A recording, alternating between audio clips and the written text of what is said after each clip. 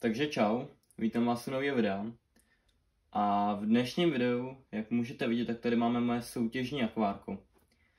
Ale ještě než začneme a povíme se, o co vlastně půjde, i když vy z názvu vlastně už můžete vědět, o co půjde, tak budu rád, když dáte like na video, odběr, video budete sdílet, po případě si zakoupíte členství a jdeme se podívat na to, co tady dneska mám připravený. Takže mám tady moje soutěžní akvárko teda a včera jsem ho fotil na už, nebo v soutěžní podobě, už jsem ho fotil na soutěž EAPLC a Alfu. Uvidím, jestli to ještě nezaroste třeba líp, že bych to nafotil ještě někdy příště, ale v aktuální chvíli jsem potřeboval vyčistit jednak výtoky a jednak uh, tenhle ten stav, který tady teďka vidíte, tak za mě je úplně nejlepší. Možná si říkáte, nebo já jsem si říkal, že tam chybí trochu červený barvy, ale uvidíme, co z toho ještě vznikne.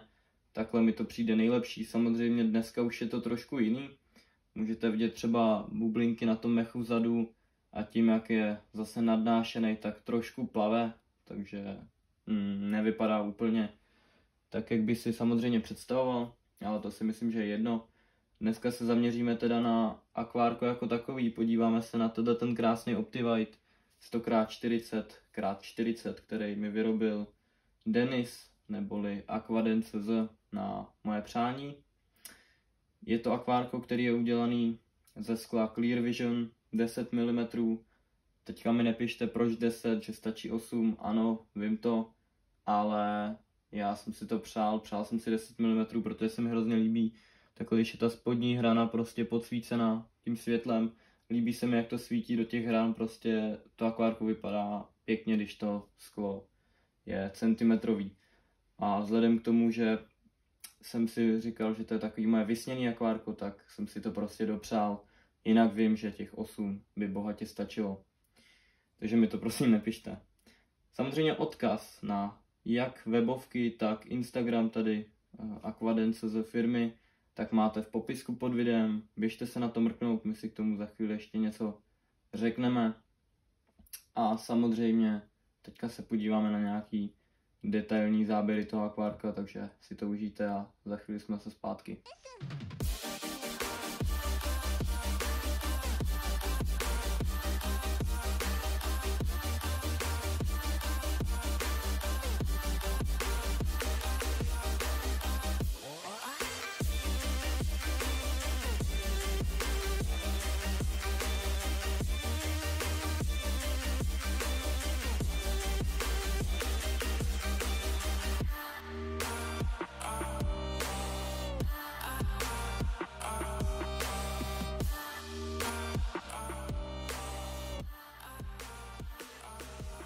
Tak jste po záběrech, mohli jste vidět akvárku teda, jak vypadá z nějakých blížších detailů a já si myslím, že to je úplně boží.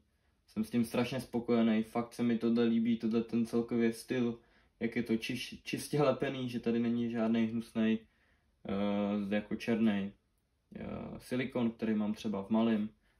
A rozhodně, pokud bych si teďka kupoval akvárko, tak zase půjdu do Optiviteu od Denise. Proč to točím, tohle video? Je to úplně jednoduchý. Jednak kvůli tomu, že chci, aby měl reklamu a jednak kvůli tomu, že ten člověk jako takový je mi strašně sympatický. Už nejednou jsem ho potkal, nejednou už jsem se s ním bavil, takže si myslím, že nějaký tušení, neříkám, že ho znám stoprocentně, ale samozřejmě vím docela dost věcí a i jsem viděl spoustu jeho prací, spousta lidí ze zahraničí si to snad i kupuje, teďka tuším. A v Česku je to stoprocentně nejlepší člověk, co vyrábí akvárka. Všechno je to ručně, má to úplně pošéfený samozřejmě. Všechno je v maximální mm, kvalitě, nebo jak to říct, protože si s tím dává fakt záležet a vím, že třeba u mýho akvárka tam někde prask trochu roh, tak mi psal, že to bude spožděný ta zásilka, že to ještě koupí to sklo a předělá mi to, protože nechcete samozřejmě prasklý sklo na akvárku a neplatil jsem samozřejmě nic navíc, ale to je jenom taková věc, to jsem trošku odbočil.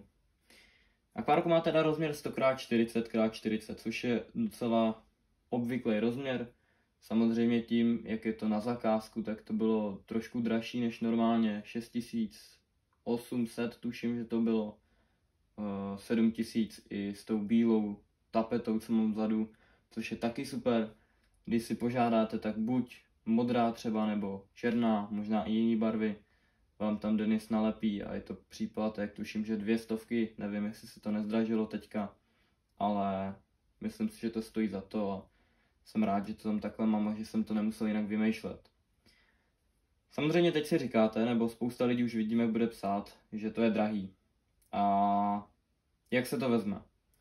Pokud chcete dělat aquascapingový akvárka, tak bych řekl, že to drahý ani za stolik není. Protože pro člověka, který chce mít prostě akvárko pěkný na vzhled a nechce s tím soutěžit, tak si myslím, že Optivite uh, je designový doplněk spíš. Takže ve většině případů, když si někdo kupuje nějaký akvárko na doma, tak si koupí třeba nějaký UV set, kde jsou klasický černý silikony, ale tyhle ty akvárka jsou spíš hodně do designu, protože ty uh, podsvícené stěny, teda ne, když prostě to sklo je takhle podsvícený, tak si myslím, že to tomu akvárku dodá takovou krásnou dynamiku a celkově, když to fotíte i do té soutěže a ten Twin Star nebo cokoliv jiného světlo, tak vám to krásně prosvětlí a vypadá to za mě efektivnější. A mně samotnému se to strašně líbí. Na těch fotkách to vypadá hrozně pěkně. A to není samozřejmě jediný důvod, proč byste si to třeba koupili. Ale další důvod je taky ten, že tyhle ty akvárka za mě, když jsem si to nemyslel, ale teď už si to myslím, že mnohem víc vydrží než klasický lepený akvárka černým silikonem, protože tam dost často praskají, ale tady je to udělané tak, aby to neprasklo. Samozřejmě stát se může cokoliv, ale myslím si, že tady je to bezpečnější, vypadá to samozřejmě líp a je to, ten silikon je čistý, že tady nic nepřečuhuje, třeba u těch z Hornbachu, co mám tady 54, tak tam ten silikon není úplně precizně přelepený a u spoustě dalších akvárií to tak je. Takže to je 100% výhoda tohohle. Pokud bychom se bavili čistě o výrobcích, který by mohli konkurovat, tak je to, eh, tuším, že Oáze a samozřejmě Ada. Tam už je to takový, že Ada je možná trochu lepší, ale samozřejmě pro normálního uživatele, jako jsem třeba já, protože já se v tom zase tak extrémně moc nevyznám, tak mi to přijde, neříkám, že úplně stejný, vidím tam rozdíly, ale jsou to fakt rozdíly nepatrný, ale vím, že třeba oáze, myslím, tak ty mají ty skla, že sedí pod úhlem 45 stupňů a slepí se. Ano, to vypadá mnohem efektivnější, ale zase, jak říkám, je to takový detail, sice hraje docela roli, ale není to nic, za, nebo není to nic, co by byl problém a zase si za to docela dost připlácíte. Tím samozřejmě nechci říkat, že to je nějak špatný nebo to, ale takhle si myslím, že to je úplně ideální a v pohodě. Co taky určitě dál, tak to není nějak reklama, není to nějak placená propagace nebo tak něco, aby zase nikdo neříkal, ale v budoucnu určitě No, v budoucnu, možná tenhle rok už, teď jak jsem to nafotil, tak to teďka budu udržovat v takovémhle stavu. Budu se snažit, aby to vypadalo furt dobře, furt pěkně a točit pro vás videa. A potom plánu, že to komplet prodám, nevím jestli jako set, udělat o to nějakou soutěž, nebo to mi klidně napište do komentářů.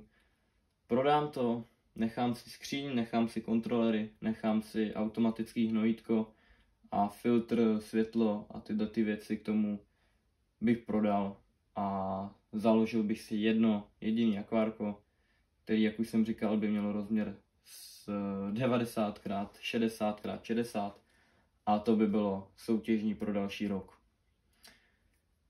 Je to z toho důvodu, že tady už se nemám tak nějak kde rozvíjet a v podstatě ty akvárka už se nemůžou moc posouvat tady, protože už tak je to docela přetížený, jak ta skříň, tak uh, ten strop, to Elko tady těch akvárií má docela dost uh, jako váhu a přemýšlel jsem, že koupím Optivite ještě jeden takovýhle stejně vysoký, jako je 54, že by to mělo nějakých 60 x 40 a do uh, hloubky 30.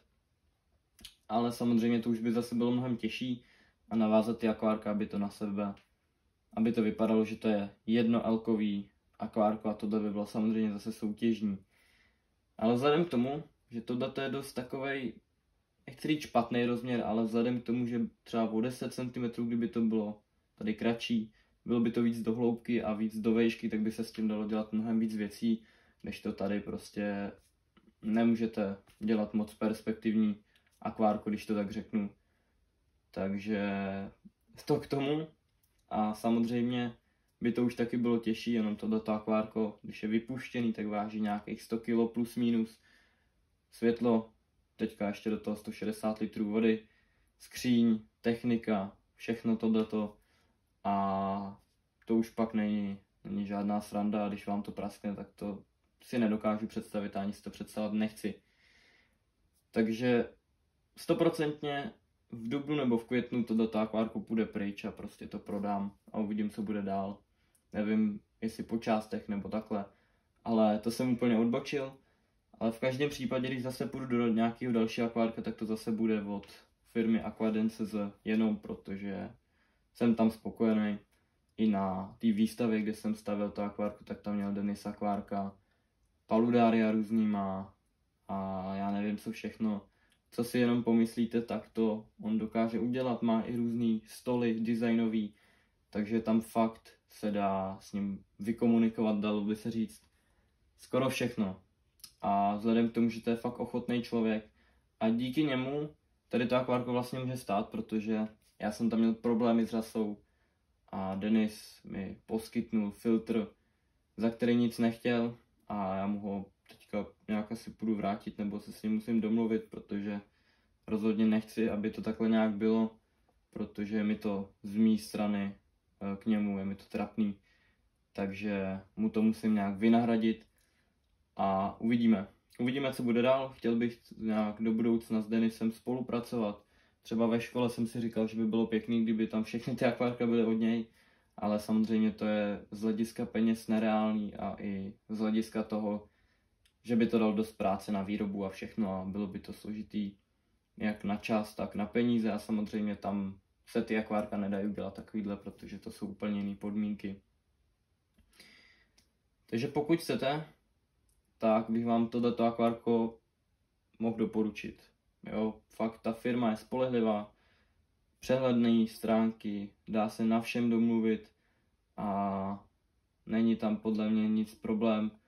Mě to sám osobně Denis uh, dovez i domů, tohle akvárko, samozřejmě to už, uh, to nevím, jestli samozřejmě nerozvážíte akvárka, většinou si proto musíte přijet, anebo zaplatit za dopravu samozřejmě, ale vždycky se to dá nějak domluvit a je to fakt sympatický člověk, v létě u něj budu stavit akvárko jeho, nevím teďka kolik litrů to má, ale nějak se dohodneme a uděláme z toho něco pěkného, takže z toho taky vznikne 100% video a to bude asi k dnešnímu videu tak nějak všechno. Doufám, že se vám video líbilo, bylo to trochu delší, trochu jsem se rozkecal jinak, ale chtěl jsem fakt říct, že jsem strašně spokojený s touto nádrží a líbí se mi celkově ten vzhled toho akvárka jako takovýho a jsem s tím strašně spokojený.